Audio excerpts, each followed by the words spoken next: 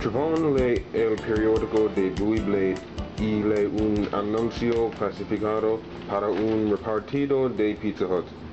Trevon va a Pizza Hut para la entrevista.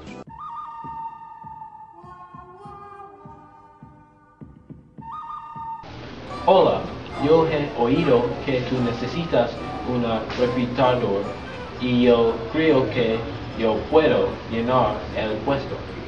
Encantado. ¿Cuáles son tus habilidades? Yo soy bueno con personas. Soy muy dedicado y muy trabajador.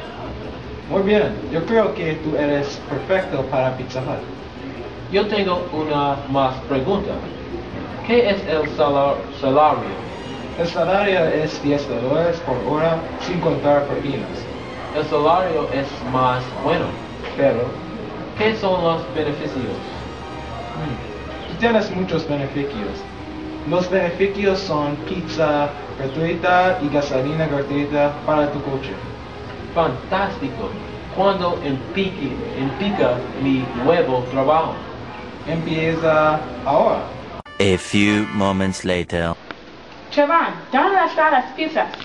Un momento, yo estoy llegando. Tú, tú eres muy pues, perezoso rápido. Yo estoy trabajando muy duro. Tú puedes esperar un momento. Estúpido chico. Chico, ¿dónde están las pizzas? Bueno, yo salí. Sí, yo, yo sé que tú bebes salar. Sal.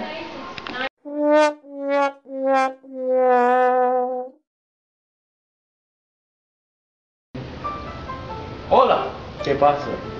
Yo necesito el libro para mi examen de español 3. No hay problema.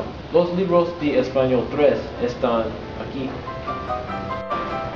¿Qué haces? Yo creo que yo dije, yo dije tu trabajador en la sección de niños.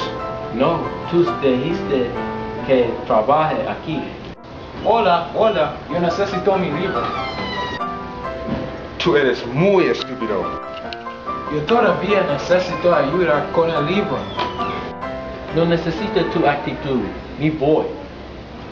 Bueno, no te necesito aquí. Yo creo que voy a hablar con el dueño. Tú puedes salir también. Tú puedes trabajar en la sección de niños. Muy bien.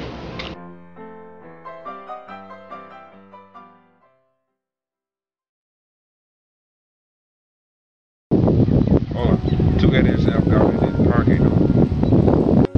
Sí, yo he trabajado aquí por dos semanas. El bosque está limpio y hermoso.